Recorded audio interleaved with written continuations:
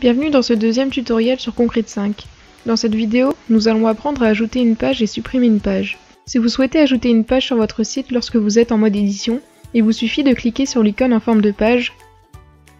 Une fenêtre apparaît alors sur la droite de l'écran. Cliquez sur Page en dessous de Nouvelle page. Votre nouvelle page vierge s'ouvre. Cliquez sur le bouton Design de page en haut à gauche. Une nouvelle fenêtre s'ouvre où l'on vous demande des informations concernant votre nouvelle page. Deux champs sont obligatoires, le nom de page et l'emplacement de la page. Le plan du site s'ouvre pour que vous puissiez choisir l'emplacement. Cliquez sur le bouton Mode édition pour éditer directement votre page, ou sur Publier votre page pour la publier sans l'éditer tout de suite. En cliquant sur Mode édition, vous retournez sur votre page vierge. Pour l'éditer, cliquez sur le bloc de contenu vide, puis sur Éditer le bloc. Quand vous avez fini, cliquez sur Enregistrer, puis sortir du mode édition. Pour finir, publier vos modifications.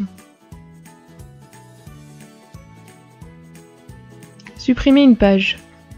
Après vous être rendu sur Plan de site, Cliquez sur la page que vous voulez supprimer et sur le bouton Visiter. Une fois sur cette page, cliquez sur le bouton Design de page en haut à gauche, puis sur Supprimer dans le menu contextuel qui s'est ouvert. Une fenêtre s'ouvre vous demandant de confirmer votre action afin d'éviter toute erreur. Pour confirmer la suppression, cliquez sur le bouton Supprimer en rouge en bas à droite. Merci d'avoir regardé ce tutoriel. Rendez-vous dans la troisième vidéo pour tout savoir des blocs et de la mise en page.